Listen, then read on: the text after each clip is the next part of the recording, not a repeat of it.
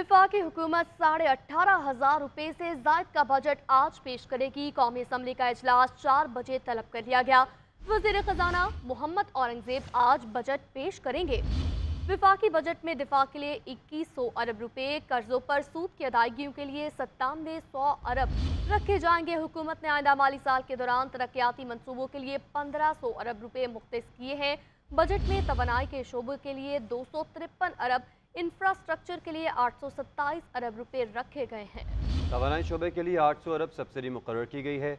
आइंदा माली साल F B are के लिए बारह हज़ार नौ सौ सत्तर अरब रुपए टैक्स इकट्ठा करने का हदफ मुकर किया गया है। एफ़ बी आर को तीन हज़ार सात सौ बीस अरब रुपए का इजाफी रेवेन्यू जमा करना होगा। बजट में सख्त फैसले मुतव हैं। टैक्स बढ़ेंगे, महँगाई का नया तूफ़ान आएगा। चीनी, घी, चाय की पत्ती, नूडल्स जैम, जेली, अद्वियात, स्टेशनरी ज़रिए अशिया, बीज, खाद, ट्रैक्टर, मेकअप का सामान, सब कुछ मजीद महँगा हो जाएगा।